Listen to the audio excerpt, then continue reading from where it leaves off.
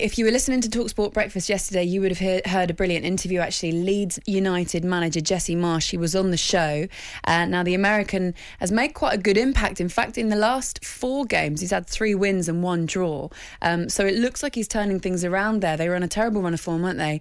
Um, but he did say this. Marsch told Talksport that injuries in the squad this season could have come from the previous regime.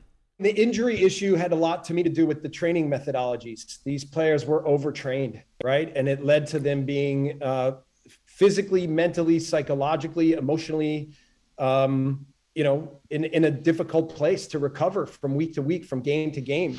So I have a very specific methodology with the way I work, and, I, and I've had a reputation for for running, having high running uh, data in in the way that we play, but also being uh, having healthy, fit, strong players who can who can meet the standards of the game that we want. So we've tried to put that into place to help the players. I think that has helped a lot. You know, the the the one with Patrick, I, I felt terrible about because the responsibility of a coach to take care of his players and to make sure that you're not injuring them and and putting them in harm's way. So in the end, when it didn't go the way we wanted with Patrick, I always feel like it's my responsibility to get that right. But you know, for the most part, I think we're getting healthy and strong with almost the entire group.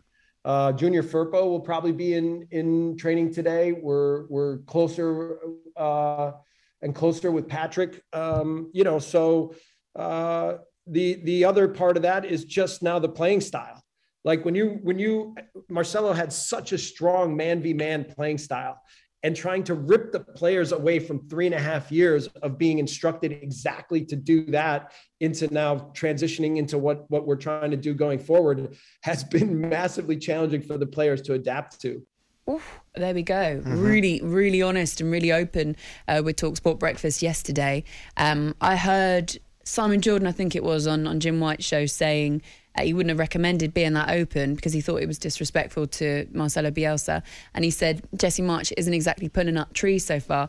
I kind of disagree actually because I think the last four games to, to be unbeaten, yeah, albeit two of those teams are, are in the relegation zone, one of them Southampton that not. But the games the they had to win, would you?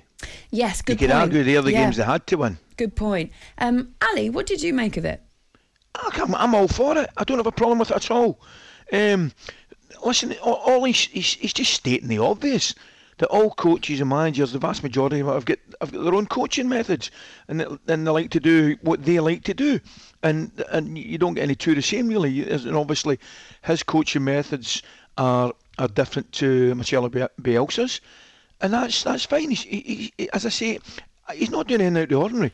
He's just stating the obvious, and I get I get what he's saying because to, to, to train and play with that level of intensity season after season, day after day, it has to have an effect on your body. So I get that, and some players will react to it differently. So he's, I'm guessing, he's um, leading us down the line that he thinks a couple of the, certainly some of the injuries have been due to the intensity of the way they train and play. I so I don't have a problem yeah. Telling us that. I have heard that from um, the Leeds United um, camp as well that they don't mind training hard. Players don't mind training hard, but you need the right recovery mm-hmm. because I heard that Bielsa's training is similar to a game. You know the intensity, and you can't do that three, four days a week and expect to have that intensity in a game.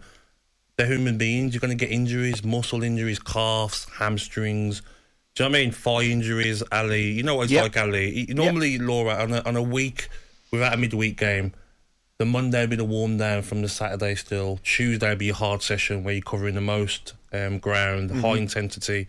Wednesday would be sort of cool down. Thursday you start doing bits, not as not as hard. Friday, mm-hmm. little bit, and then you get the game on Saturday and pull it in on a Saturday. I think the Leeds players definitely were overworked under Bielsa, but that was his style, wasn't it, Ali? Mm-hmm. So um, Jesse Marsch for me, um, very open in what he says, but Simon can't talk. He's, he he hammers everyone. How can- how can- he can't say a word. Good point. Good point. Um, Jesse Marsch on Talksport Breakfast yesterday. If you want to hear more of that interview, you can go to the Talksport website.